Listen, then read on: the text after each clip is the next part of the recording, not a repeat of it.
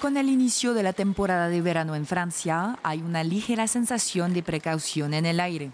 No nos queremos enfermar durante nuestras vacaciones, así que llevamos mascarillas. En el tren es mejor tener cuidado con el aire acondicionado.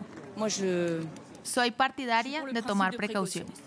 Algunos se preguntan si podrían volver algunas restricciones.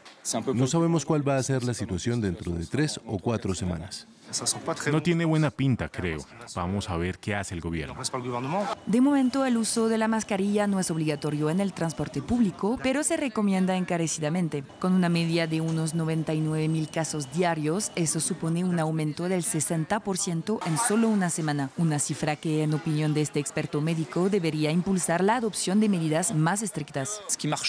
Volver a poner las mascarillas en los lugares donde más se propaga el virus sería lo más eficaz. Creemos que el transporte público un espacio cerrado en el que te cruzas con mucha gente y en el que es imposible rastrear los contactos, está contribuyendo a la propagación de este virus. Volver a poner las mascarillas tiene un efecto inmediato.